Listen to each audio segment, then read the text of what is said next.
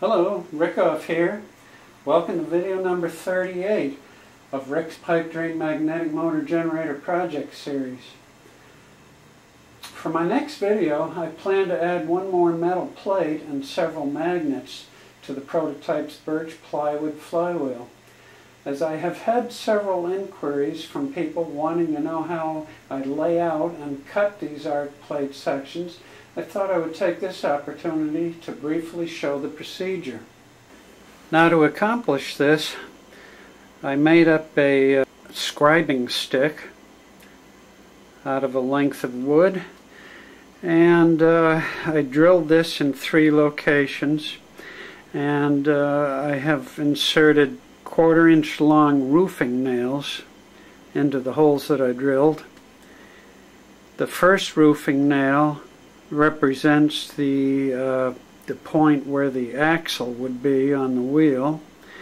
And nine and a half inches from that I've inserted the second nail. And uh, that would represent the beginning of the uh, metal plate. And the last nail the third nail is inserted three and three quarter inches from the second nail and this three and three quarter inches would represent the width of uh, one arc segment. Okay one of the, this would be the width of one steel plate that I'll be cutting out. Okay so my scribing marks would be here and here and the sharp metal point on these roofing nails uh, works quite well to scribe the marks onto the sheet metal where I'll be uh, using this as a guide to cut out the metal arc segment. Now I've laid out the sheet metal on a piece of uh, plywood that I had left over after cutting the uh, birch flywheel and as you can see I have the left side of the sheet metal aligned straight with the edge of the plywood which I know is a straight edge. Okay?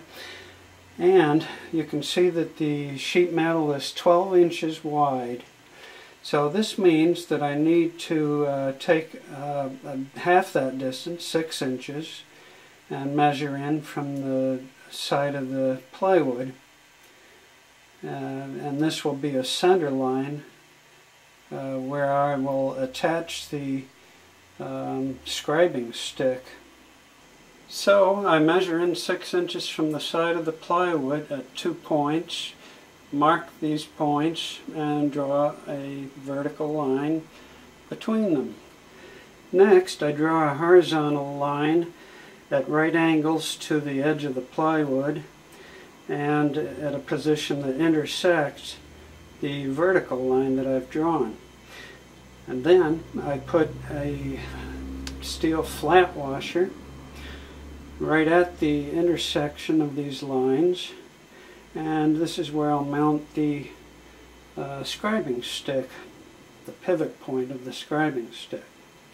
And then the scribing stick is set into position and uh, I tap in the nail very slightly just enough to get a grab uh, not even a quarter inch I'm sure. Uh, and the reason for this is because uh, this allows me to remove the scribing stick easily and I will have to remove it in order to scribe the uh, secondary lines on the sheet metal uh, of the arc piece that I'm going to cut out. And this would be the end lines of the arc segment. And I'll show you that in a moment but uh, first let me show you how I scribe this arc segment on the sheet. Okay now you can see uh, the curve of the sheet metal from where I cut out my last uh, arc segment. And uh, I can't keep that edge. It would be nice if I could but I can't because this represents the uh, top edge of the arc segment and or the outer edge I should say and uh, the inner edge would have been uh, right about here and uh, it would have a, a narrower arc. See, because it has a, a smaller circumference than this point. So the uh, arc segment that I'm going to cut here, uh, it, it, will start at this corner that I have a line now on the scribing stick and uh, it will kind of go up a bit and then come back down to the other end. So I'll have a, a waste piece right into here. I should also mention that the uh, that the nail points on these two scribing nails are just barely through the other side of the uh, scribing stick just barely just the points are coming through so holding the plate steady with one hand I'm going to start in the center and uh, I'm going to work this scriber back and forth several times to get a nice scribe line.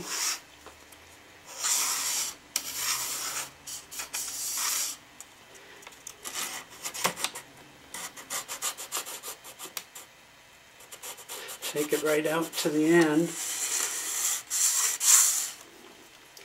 Now steady with this hand and, and work the other side.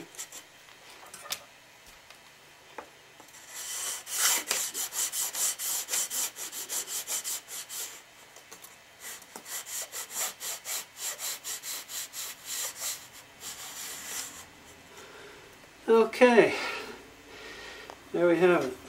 Next, I remove the scribing stick from its position and I place this, uh, this is an aluminum bar stock which I'm using for a straight edge and I place this so that this end would be directly in line, this, this edge would be directly in line with the center of the uh, pivot hole which was made by the uh, nail of the scribing stick.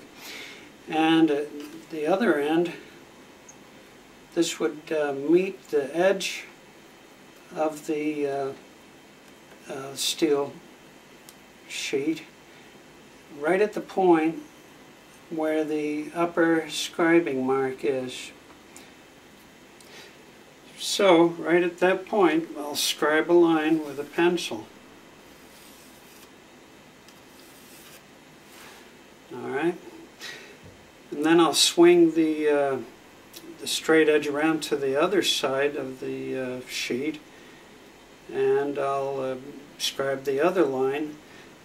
As you can see I now have uh, both ends of the arc segment marked off and those will be the cutting lines. I'll attempt uh, to cut these off just to just enough to leave the lines showing on the, on the uh, metal surface. Uh, the same thing will apply to the scribe lines for the arcs. Now it's very important that you remove the scribing stick and use the, a straight edge to make these end lines. If you use the uh, edge of the, the, side edge of the uh, scribing stick to make these lines, uh, they won't come out right and your arc segments uh, will not fit together properly. So that's why I remove the scribing stick and use a straight edge aligned with the center of the uh, pivot point. Okay, now here we have the cutout pieces. These are just rough cut.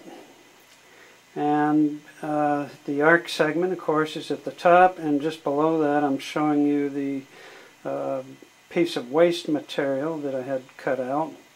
I'll need to take a file to this now and uh, deburr all the sharp edges. And then I'll take some uh, emery paper and uh, give both sides a good scrubbing with that and clean off uh, any residue that's on there. Then, then next I will spray paint these with uh, rust protective enamel uh, that would be the blue enamel that you see in the videos.